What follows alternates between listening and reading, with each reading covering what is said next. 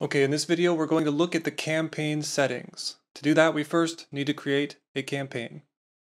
Select campaign, click that blue plus sign, hit new campaign. We come to a goals section. The first step in any campaign process is to determine what you want to get out of your marketing. That's why Google probably designed this. This is kind of a new way from what they have done previously in the past. So they want you to think about what your goals are, and they've given you ideas for what types of goals you probably would be interested in.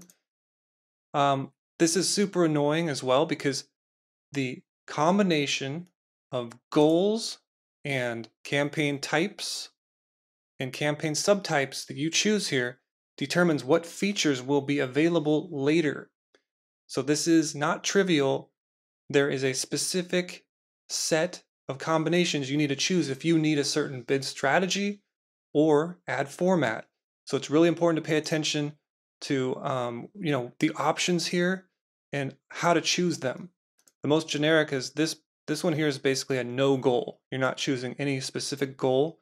You want the freedom to create whatever you want.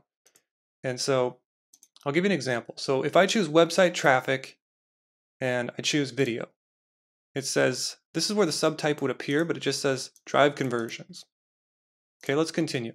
So let's see what bidding option I have. I just have target CPA.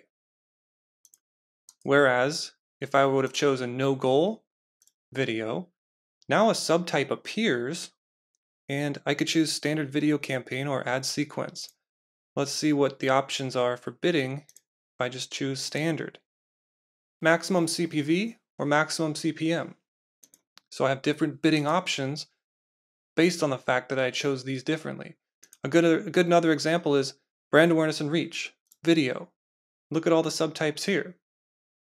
Hit continue and we can see if I wanted to do this, I would not be able to use YouTube search results for this campaign because this subtype or goal is not available for this particular configuration. So my point is the settings you choose for the goal determine the options you have later. We're going to choose no goal. We're going to choose video. We're going to say standard video campaign because I want to walk you through the different settings now within the campaign setup. So over here on my right, I have a display campaign. Over here on my left, I have a video campaign. We'll give it a name, video-1. First thing to note is that the interfaces are different. So if you want to create a video campaign, the video interface looks like this with budgets and dates below the first campaign name. And if you create a display campaign, locations is under the campaign name. So the idea here is the interfaces are different, but the campaign and ad group settings are very similar, if not the same. Okay, so let's talk about campaign name first.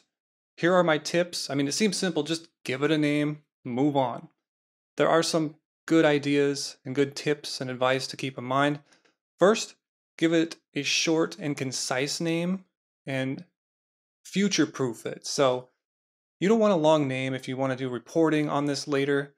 Long names will mess up the reports in dashboards and things like that. So if you have to worry about dashboards, definitely consider how long the name is. Another thing is give it a structure. So let me show you. This is a good structure for our case. It has the type, so the campaign type, dash brand, dash bidding strategy, dash where the videos will show. For display, we could do something like this.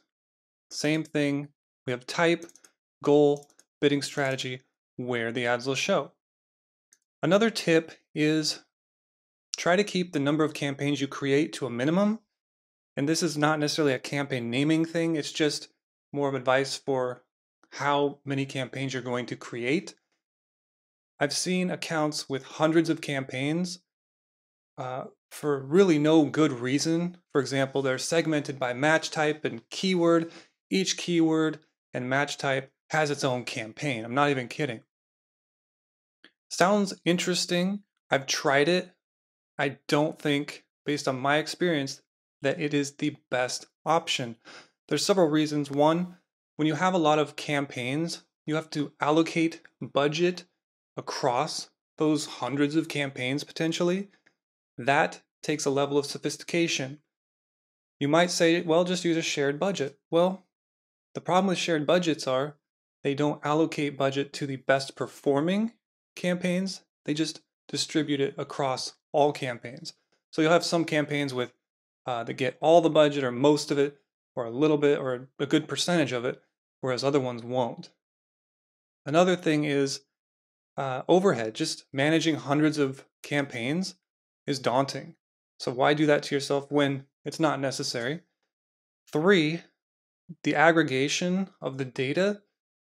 So there's sparsity. There's this concept of sparsity. Google uses machine learning algorithms to decide when to trigger an ad and when to display an ad and you know when it's the best time. They do that with machine learning. The problem with machine learning is sparsity. And if you don't have a lot of data on your ads, Google doesn't know how confident it should be if you have hundreds of ads spread across hundreds of campaigns. So if you just aggregated them into one campaign, then all that data is aggregated under one campaign, or one or two or five or whatever, not 200 or something. That gives Google more data to optimize its decision on whether or not to show your ad. That's a very long way of saying uh, sparsity is bad. Now, I say that because with video campaigns, the problem you're going to run into is that video campaigns have settings on the campaign level that determine the ad formats that you can run. Now, don't let that just go over your head. Stop for a minute, think about that. And it's real easy for me to say because I'm in the weeds right now. But I'm going to show you an example. So let's say we have the bid strategy set to maximum CPV. And we choose, I'll just type this in, ABC. The ad formats available to me when maximum CPV is the bid strategy is in-stream and video discovery. Now let's change that to maximum CPM. We scroll down, we type in ABC. Now only bumper ads are available because of the fact that I chose a different bid strategy. So the bid strategy is set at the campaign level. You can't have bumper ads and in-stream ads and video discovery ads all in one campaign. So it's going to require you to create multiple campaigns because of the fact that the bid strategy is set at the campaign level. So what I'm trying to say here is that with video campaigns, you're going to have more campaigns than you're probably used to with your search or display. So those are my tips for the naming convention and in general the onset of how we plan for our campaign settings.